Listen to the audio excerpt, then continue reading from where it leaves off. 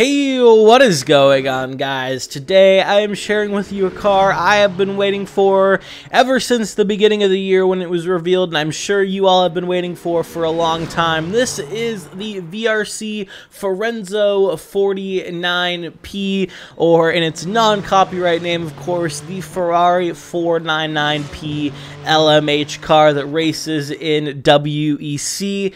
This car man, I absolutely love it. First of all, I want to say a huge thank you to VRC for giving me a few days early access to this thing to really be able to drive it and share with you everything that I have discovered across like 150 kilometers of driving over the last few days. Uh, so a lot to talk about here today. Let's not waste any time. Let's get right in first of all with the specs of the just so you kind of know what we're working with here. It's of course an LMH car. It's a top of the line prototype.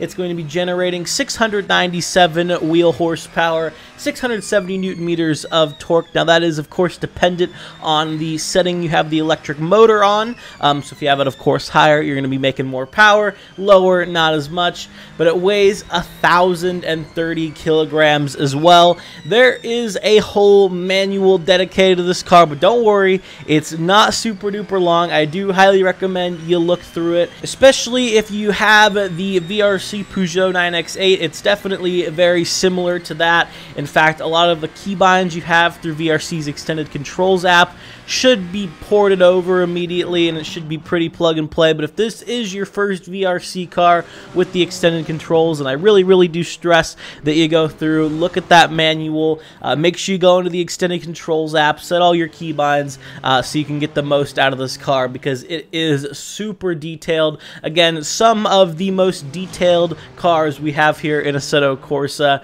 Uh, VRC has done a ton of work on the back end and it really shows. In terms of the model quality of the car, it is of course fantastic.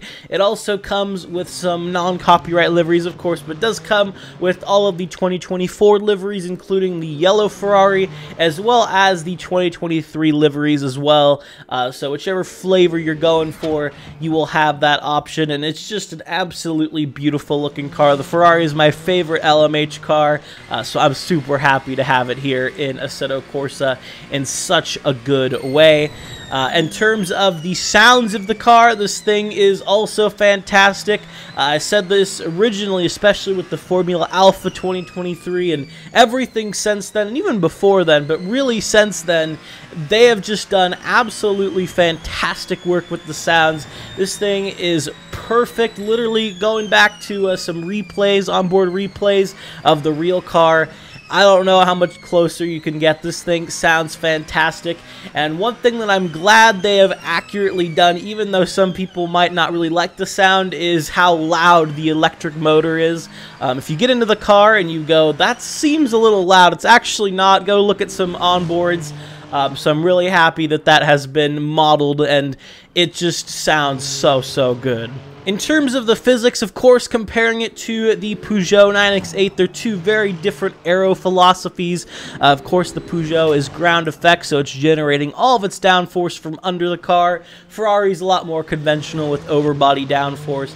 Personally, I prefer how the Ferrari drives, um, but they both feel amazing, and especially this Ferrari, I have no complaints. This thing feels very good. Comparing it to Le Mans Ultimate is really difficult because rFactor's Factor's physics engine is just completely different to Assetto Corsa. Uh, and they definitely have some weird quirks in that one, but I like to say that they feel pretty similar in the broad strokes in terms of where the car understeers and oversteers and things like that. And going around some tracks that I have in iRacing with the uh, LMDH cars that we have in that game, uh, I'm doing very similar lap times, so that's always great to see. These things are super fun. I'm sure for most of you this is going to be a pretty no-brainer buy, but just in case you're on the fence, I really do recommend you check this out, especially if you're a fan of endurance racing and prototypes. This thing is the absolute pinnacle of a Assetto Corsa car mod right now, and it is absolutely fantastic. Especially now with VRC working on all of the LMH cars and RSS working on all of the LMDH slash GTP cars. I am very happy and excited. We're finally getting super high quality versions of this new era of prototype racing here in Assetto Corsa, and I'm just very excited to see what's to come.